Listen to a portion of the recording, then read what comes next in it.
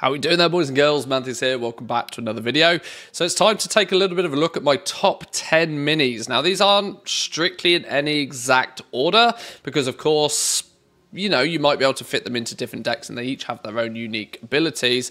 But of the 40 or so minis that are out there right now, these are my top 10 that I would recommend anybody at least level up. Or if you are slowly acquiring your minis, maybe prioritize getting these as they're remarkably strong. So without wasting too much time, let's get in straight to number one. Uh, one of my favorite minis, without question, is the Huntress. She is super powerful, like ridiculously powerful. She's a touch expensive. At 5 gold, you are going to have to make sure that the rest of your deck is not too heavy.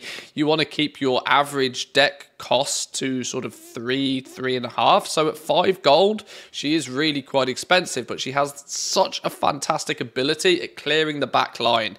If she hits the tank that's coming towards you, and then it ricochets to the back and it clears out all of the stuff that's actually doing the damage to you. Fantastic at clearing through mobs, carves through chickens, Great for killing opposing harpies. Um, genuinely all round fantastic mini. Uh, an auto pick in almost every single case for me when it comes to the abilities you get when you start leveling her up, uh, Darnassian Steel is kind of situational. If you're coming against things regularly where you're just getting swarmed, having those extra bounces of her glaives is really handy. Um, otherwise, the stealth in the ambush or the Elven Might even, to be honest, even all of her talents are very, very juicy. So the Huntress is a strong pick for me in nearly any build. Next, we did mention this one just a second ago. The next one on my list, my number two, is the Harpies. Harpies are fantastic because they are fast. They're relatively cheap. They spawn three of them. They're fast, and if you can get them to the boss, they carve. They absolutely cut through. They're one of the highest DPS units, I think, in the game as it stands right now. Uh, plus, you have the ability with one of their traits, if you can level the Harpies up a touch, infectious swipes. Great, uh, gain poison ability. It means even if they only just get to the boss and they give it a swipe or two before getting taken down, they're going to leave that poison effect and it's going to tick for a few seconds after as well. Um, the trinket collectors is a popular one. It's going to do give you the mining trait, but it does increase the cost of the harpies by one, um, taking them from three gold to four gold. Uh, maybe once you are leveling this up to rare or maybe even epic, maybe look at picking the, the trinket collectors. The first one I'd try and get your hands on though is either going to be the infectious swipes or the talon dive. Um, this is saved my bacon many times. Take a tank in, get the harpies to speed in behind, and you will clear many levels far above the harpies average level themselves. This is a fantastic unit. The next one I want to talk at eh, or talk about is one that's a little bit uh, a little bit questionable for some, um, and I haven't seen this had too have too much play. Mostly because most people think at a one gold cost, it's probably not going to be all that valuable to you. But the Defias Bandits, these guys are crazy good. These guys are crazy good because they're so cheap. It spawns two of them. They have stealth um, and they stun on their first impact. This means they almost never fail to do good damage. Now, the only thing you've got to be careful of is they're obviously squishy. Um, but if there's one thing ploughing down one of your paths and is about to take one of your towers down, dropping your Defias Bandit is nearly always going to be a positive trade. At one gold cost, they are borderline free. And like we spoke with the Harpies previously, if you level them up a little bit and you get access to the poison trait, oh my god, they are guaranteed to do damage.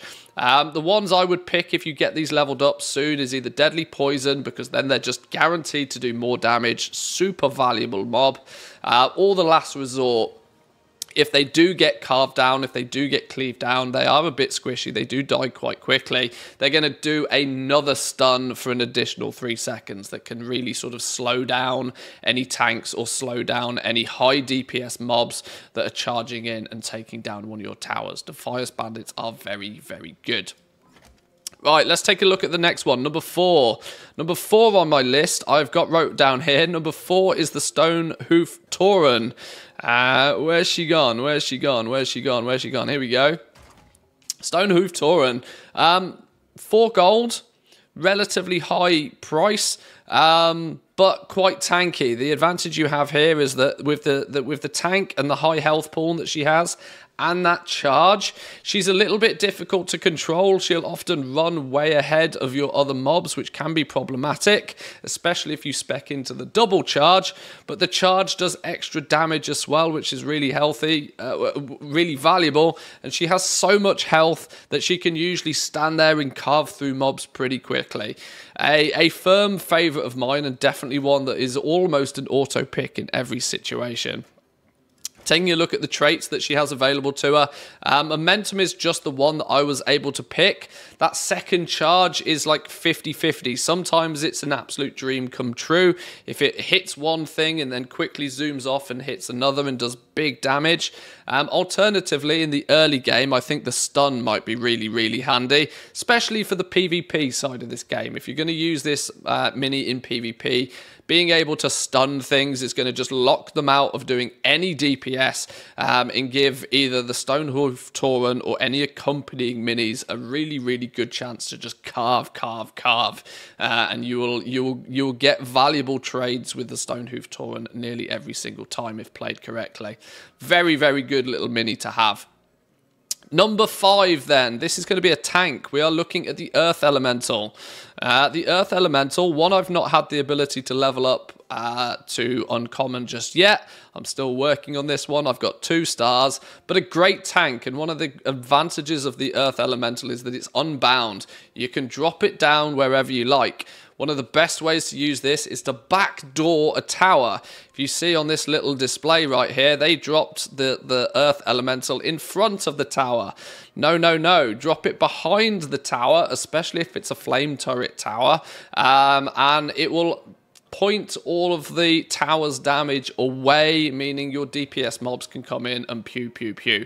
Fantastic little mini. And at three gold, pretty cheap. Siege unit as well, meaning it's going to do extra damage to those towers. And so drop it on a tower, let it cut away, your DPS mobs roll in, take the tower down nice and fast, and you can progress forward, hopefully, for the win. Earth Elemental is very, very handy. In similar vein to the Earth Elemental, number six on my list is the Quillboar. The Quillboar has a lot of similarities. It is a unbound one, meaning that you can drop it anywhere on the battlefield where you like. It has the advantage of that it is that little bit cheaper, only two gold. Uh, it's a touch squishier though. That's the downside to this. It's a touch squishier. It doesn't particularly perform well against towers. This is more to take out that annoying mob that's behind the line of their attack. Uh, if they've dropped, I don't know, a pyromancer down or a necromancer or something, and it's just tunneling damage into you, you can drop your quill quillboar behind enemy lines and they can quickly clean up any mobs that are getting in the way. And sometimes your your uh, your earth elemental just needs that little bit of extra support, and that's when I drop down a quill quillboar and they go to town. Um, let's take a look at the harvest golem then, as we're talking sort of more tanky stuff right now. You may notice a lot of the good mobs, good minis in this game right now are the more tanky things players haven't had much chance or opportunity to level up and ramp up the abilities of their DPS minis, meaning that the tank meta is really quite strong at the moment. Um, I'm often putting two or three tank minis into my build just because they don't die very fast. Um, nobody's got the ability to carve these things down yet. The Harvest Golem is probably one of the highest health pool minis in the game because of its fantastic ability to come back to life. Uh, you kill it once and it's like, no, no, no, I'm going to come back. And admittedly, it only turns up with half health again, but it goes again. Um, and it, if you look at its default health pool, uh, three and a half thousand health as it stands currently at level 10 is not bad, but it gets 50% more than that when it regenerates as well. Great little mob. Obviously, the downside here is that you have to send it out first. Um, you can't drop it on the battlefield like you can with the Quillboar or the Earth Elemental but I pretty much am always running with at least two of those three minis in my deck at any time. A couple of tanks is going to do you wonders, especially on the PvE side, uh, where there's often some weird and wacky mechanics that you have to deal with. They soak up all the damage, and your DPS minis, your Huntress, your Harpies, stroll in and just clean house, and you win the you win the battles very very quickly.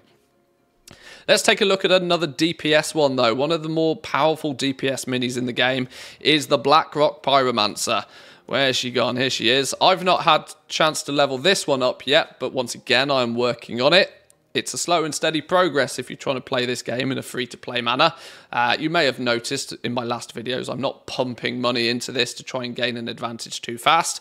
I'm enjoying play the game, playing the game, and I'm leveling things up slowly but surely.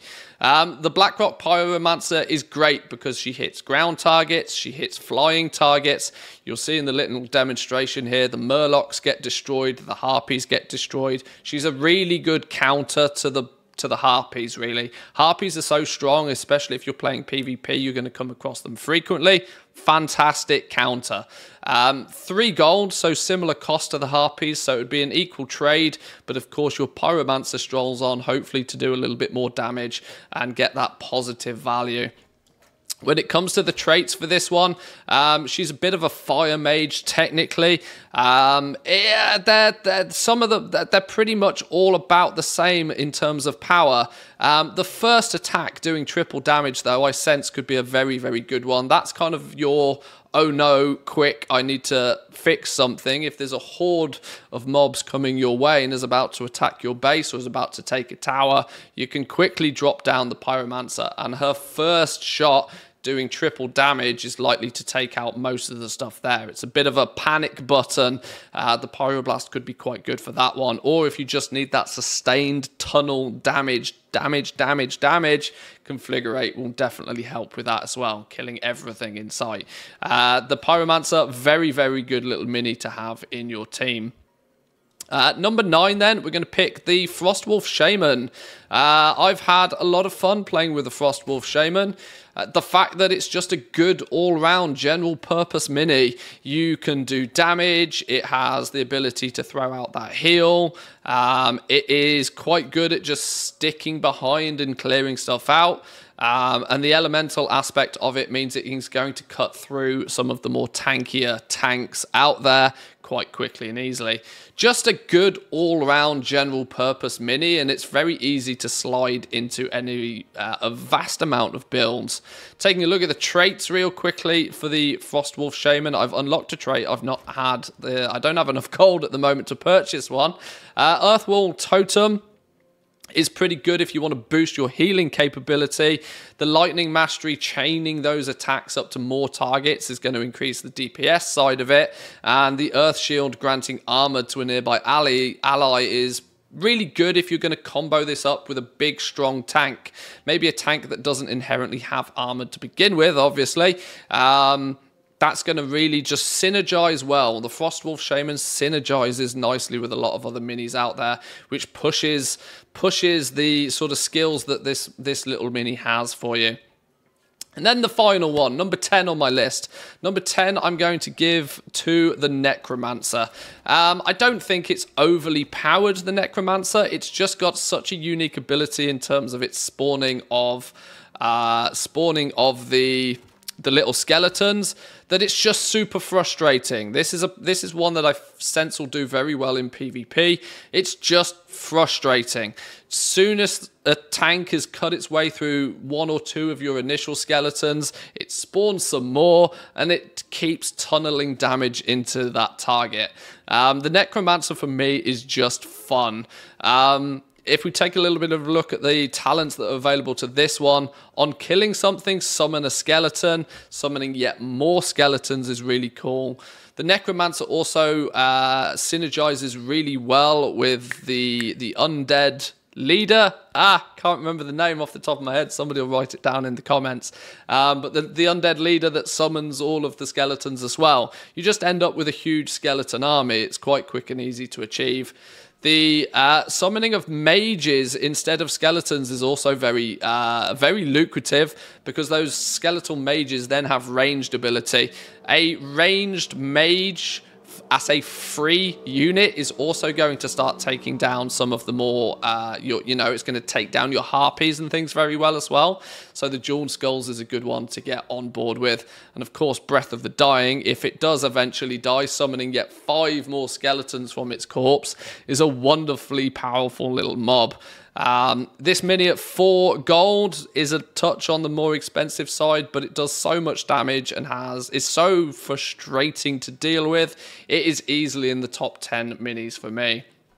So there we go, boys and girls. That's my overview of my personal top 10 favorite minis. Let me know in the comments section down below some of your favorite ones if you think there is justification for me to add any others to this list or whether you think there's a mini that does a better job than one of the ones on, on the list that I've highlighted.